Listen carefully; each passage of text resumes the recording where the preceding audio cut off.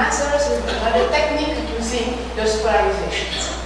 So this is a work that we submitted, so normally it should be online for well, soon. So the sample, not to, to keep it uh, simple, we use CRL 618 and OH231.8 or the Calabash nebula. So we divided our sample with one C carbon-rich and one oxygen-rich um, object. One is slightly, CRL618 is slightly uh, younger than, um, than nivelate. So how are we going to do this? So we're going to use dust continuum emission polarization mapping.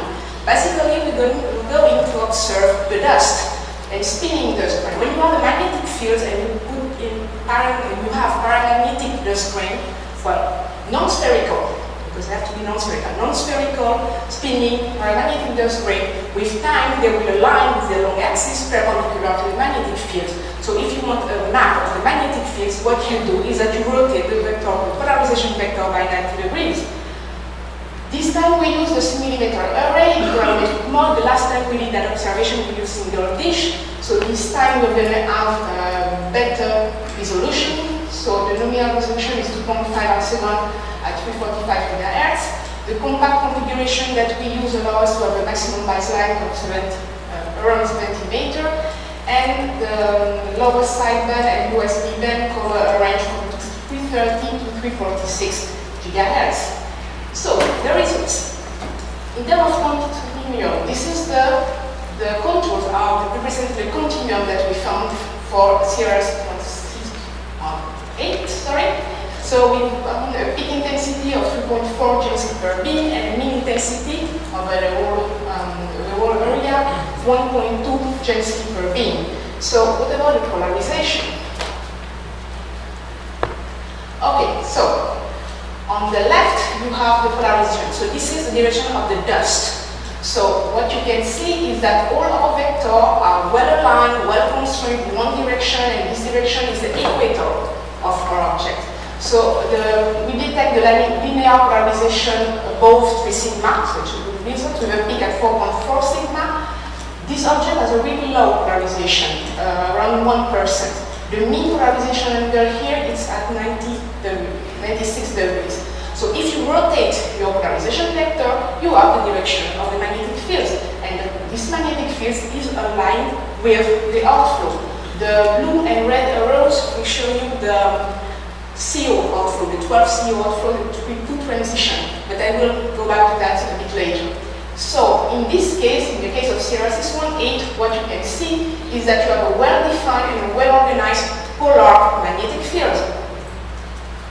In the case of OH231, here is the continuum, very close to the interior of the nebulae. We had a peak intensity of 0.76 joules per so much lower than the other objects, and the intensity of 0.31.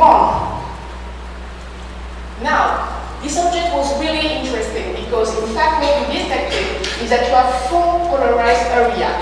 Those areas are, um, have been detected also above 3 sigmas, with a peak of 4 sigma. Each blobs contain polarization vector which are within, well, mm, within each block, they are well aligned, they are well constrained, they have a principal direction. Here in that direction, in this, here. So the percentage of polarization in this object is much higher than in CRL 618 and we reach a peak of 15.6%. Over the polarized area, the mean is 4.3%. So if you rotate those vectors by 90 degrees to have your magnetic map, what you have is a nice X-shaped distribution. And that X-shaped distribution is generally associated with a dipole, a dipole configuration. But we have a set of vectors, those grain here and here, that might belong to a toroidal configuration, like the reciprocal uh, configuration. So the same as CRL 618, in the Calabash nebulae what you have is a well-defined and well-organized dipole or poloidal because in that direction you have the outflow, a well-defined and well-organized dipole or poloidal magnetic field. So during this conference, we talk a lot about uh, launching mechanism. What could be, what could launch all those objects. So I propose, of course, a magnetic launching mechanism. In the case of CR618, if this time I compare the direction of the magnetic field with the outflow, those are the blue shifted, the, blue shifted and the red shifted CO outflows. It's a transition, uh, the is transition, the 12 CO, the 3 2 transition. So what you can see, put it back to that, so here, your, um, your vector are well constrained near the central star, okay? In the case of OH221, those are your outflow, blue shifted, red shifted CO molecular outflow. And what you have is that your vector, your magnetic vector, perfectly encompass the whole of those outflow. This is well seen, for example, in the blue shifted outflow, also in the red shifted one. You still have those vectors here, which are a bit lower from the central part of the, of the nebulae, and that can be rounded up like in a sort of toroidal, toroidal field. So we have a good alignment of the magnetic field vector with the CO in both of uh, both uh, protoplanetary nebulae, although OH3 only might be a symbiotic. We have a this, those mass, what they told us that you have a dynamical poloidal field at small scale, small scale. That means that we're going closer to the central star. So that might indicate an outflow launching. But the problem here, particularly in that case, is the question is who is dragging who? Is that the magnetic field are really collimating and the, the force, the strength collimate the outflow, or the magnetic are dragged with the outflow.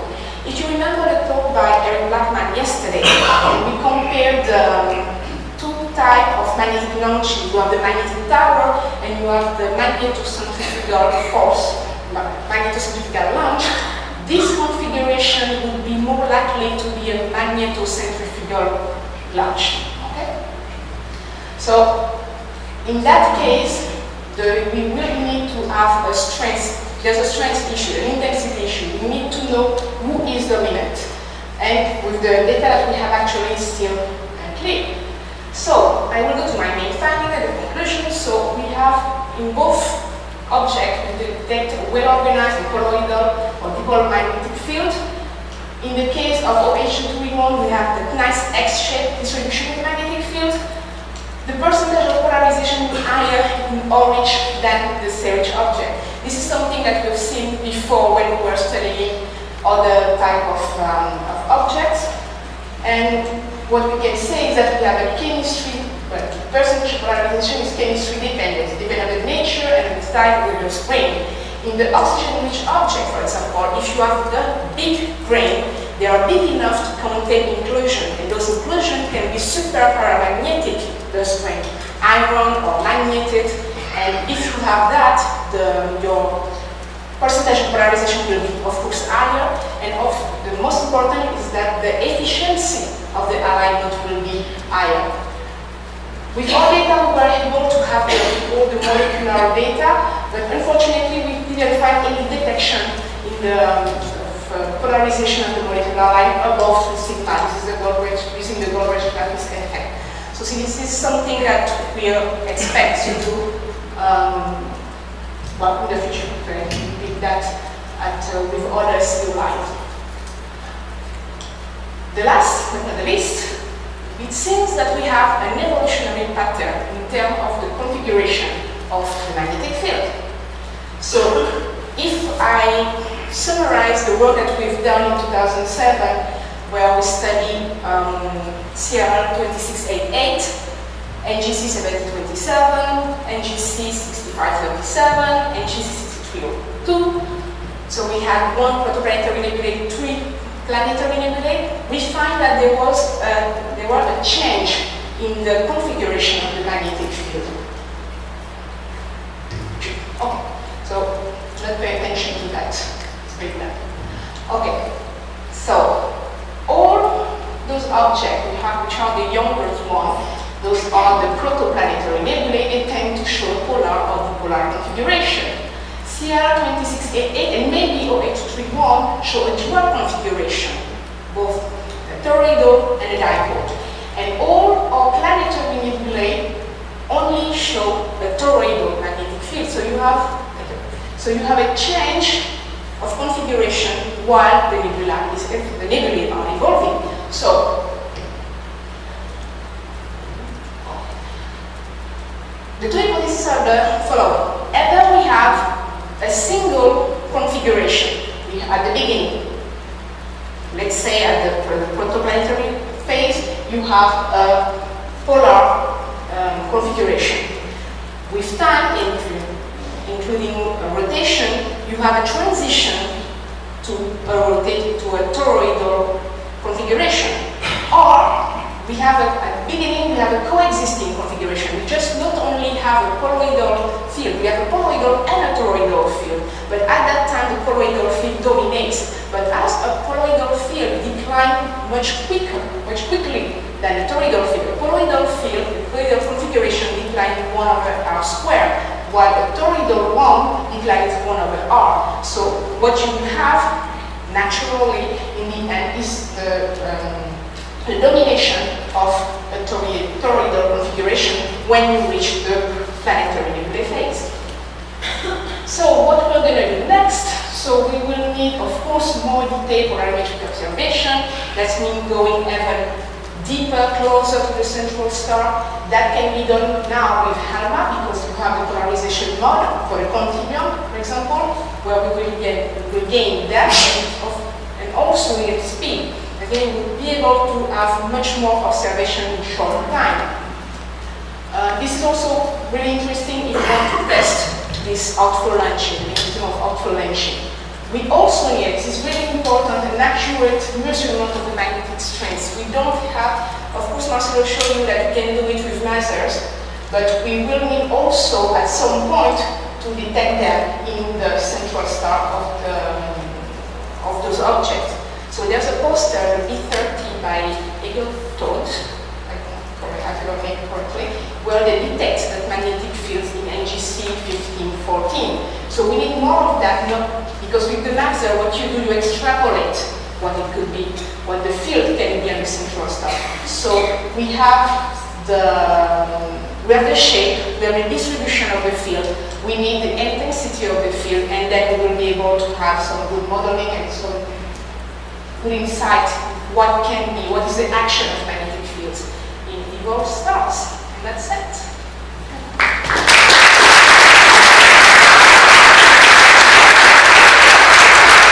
Time for a question and a half.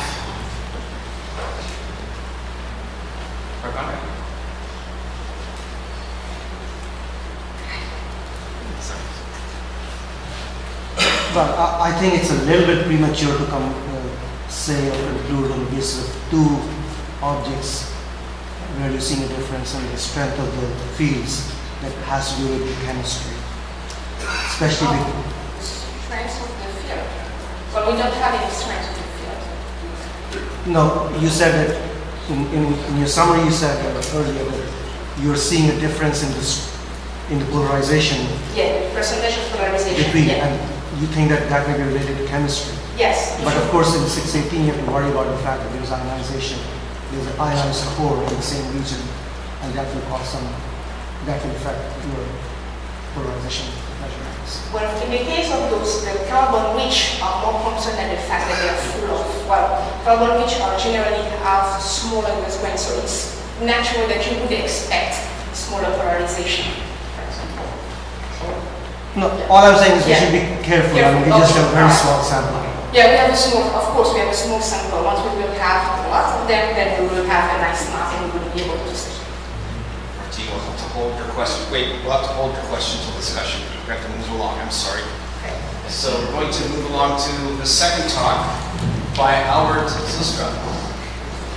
They let him talk twice, this scientific organizing committee, but this talk is on bipolar planetary nebulae in the galactic bulge.